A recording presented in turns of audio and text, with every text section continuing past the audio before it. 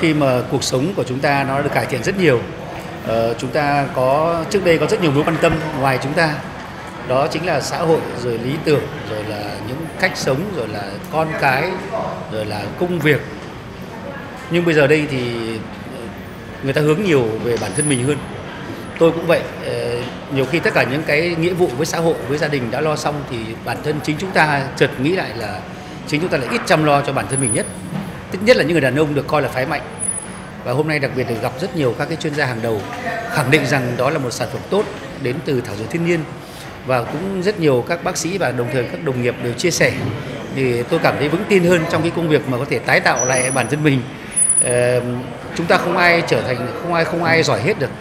Mỗi người có một lĩnh vực và tôi nghĩ rằng cái lĩnh vực này chúng tôi không phải là người giỏi. Nhưng mà là một người thụ hưởng thì chúng tôi cảm thấy rất dễ khi mà đến với viên ngậm này. Rất tiện hộp thì bé viên thì nhỏ và nó rất tiện lợi. Ờ, tôi hy vọng rằng trong thời kỳ tới thì như tôi đã từng phát biểu đấy rất mong nó trở thành một cái viên ngậm thần kỳ có thể giúp cho đàn ông vững tin hơn cho dù uh, nó có thể tùy từng cơ địa tùy từng cái mối tương tác giữa trong mỗi con người.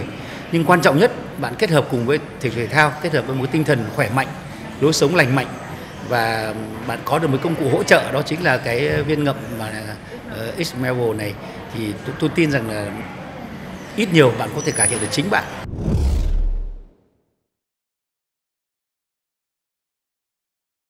Hướng dẫn mua hàng từ video các bạn có nhu cầu đặt mua hãy bấm vào link đặt hàng bên dưới video bằng cách sau. Nếu xem trên điện thoại, hãy bấm vào tiêu đề của video. Khi đó màn hình sẽ hiển thị ra thông tin về sản phẩm. Bấm vào link mua hàng như hình, điện thoại của bạn sẽ mở ra website đặt mua.